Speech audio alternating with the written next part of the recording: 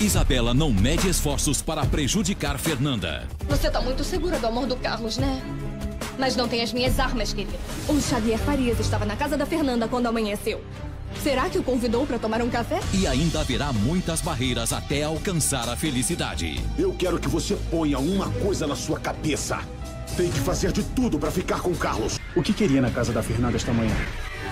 Caminho para o destino. Nesta quarta, seis e meia da tarde, no SBT.